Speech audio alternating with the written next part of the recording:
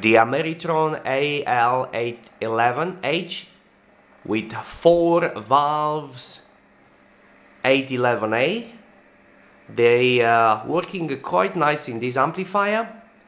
It is uh, together with the ICOM 7300 and the external speaker ICOM SP38.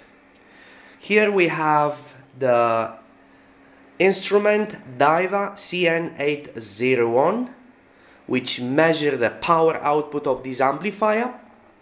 This amplifier has no instrument for output wattage so you need a power meter for this um, thing. So on the front panel you have two instruments one is for the plate current and one is for the grid current these vents here it's for uh, hot air which is going uh, here. It's um, going outside through these vents. They are burning now. Uh, they are uh, quite bright. And here is the uh, back of the amplifier. Um, the fan is not noisy.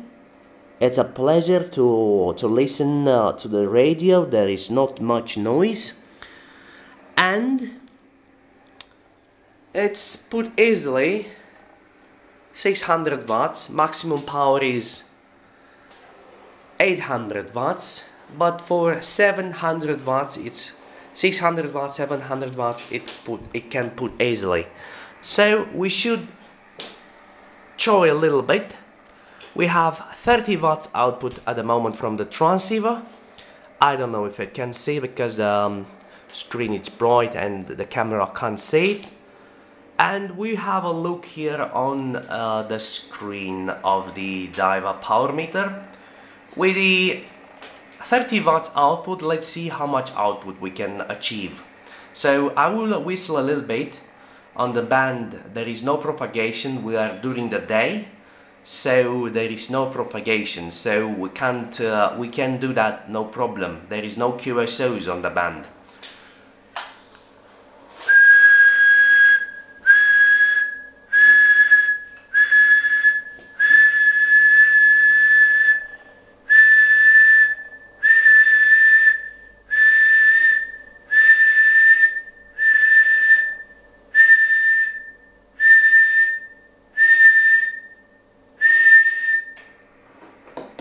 700 watts at the moment 700 watts.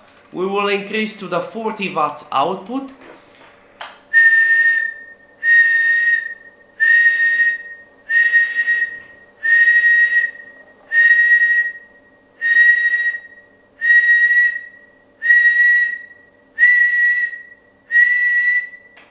So we have um, about uh, 800 watts let's look on the instrument on the um, amplifier.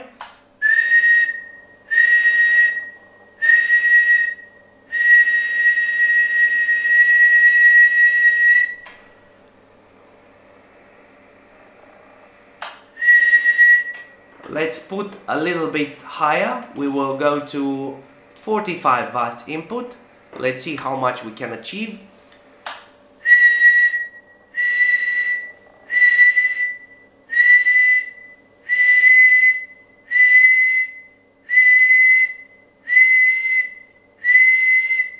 we can